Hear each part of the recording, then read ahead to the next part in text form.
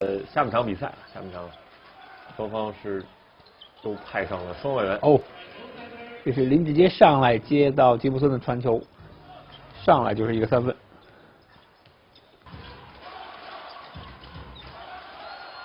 再来，哎呦，这俩人可能就是林章指导觉得他们俩在啊，啊，战术可以跑出来。对，